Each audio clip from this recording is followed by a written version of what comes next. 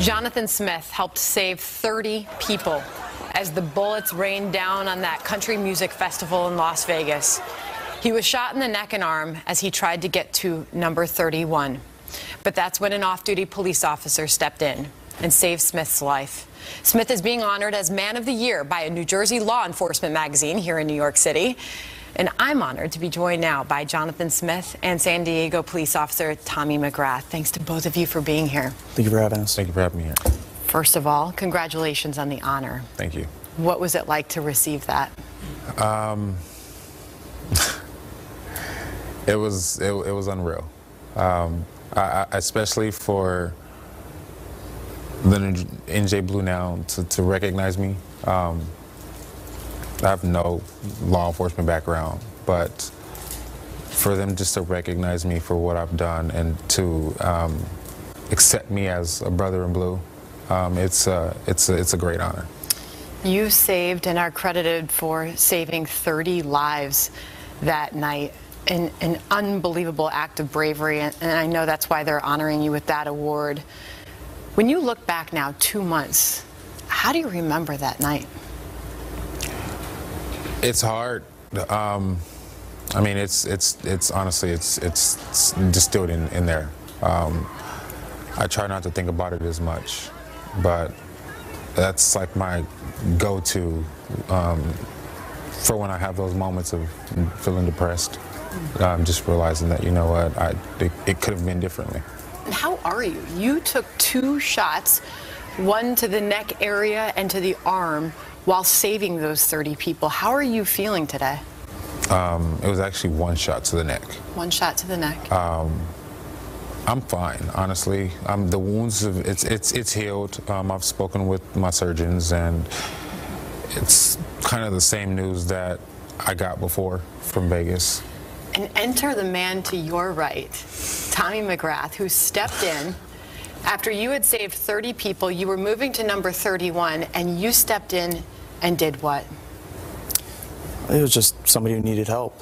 Um, at that time, I was looking for my wife, and I think at that point I realized that, you know, I, I was confident that she had gotten out of, of harm's way, and um, I went back into the venue, saw Jonathan. He looked like he needed help. Asked him, and saw his wound. I did the best I could. What did he say to you? He just said he got shot in the neck. Um, he was holding his shirt up against his neck. Uh, I did the best I could as far as rendering aid and whatever training I had, and I tried to get him out of there.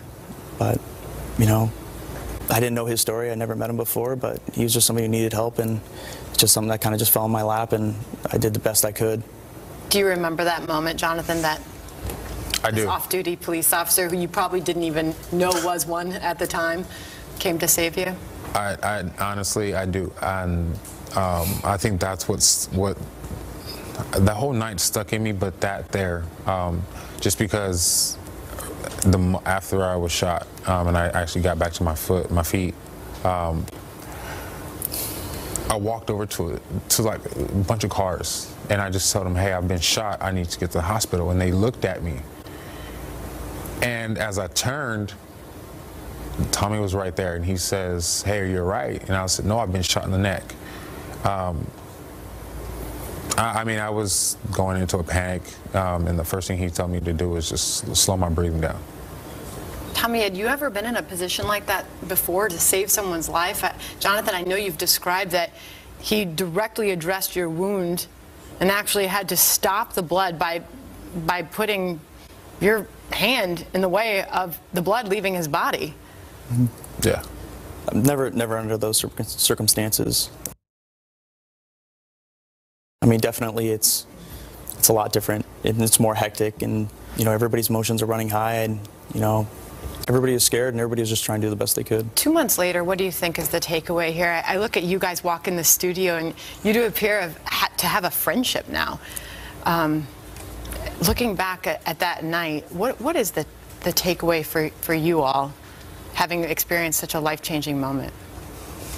I think for me, it's just the simple fact that. Um, I mean, I think for most of us that I'm, I'm still here. Mm. Um, but the greater takeaway from it is that my family's grown a lot larger. Mm. Um, I, I, I, talked to a lot of the um, I talked to a lot of the survivors that were there, um, nonstop. I, I talked to him like a few, a little bit before I came here. Wow. Um, that's the one thing, and I, I mean, I, I You saved honestly, their I have, lives. I have a new brother.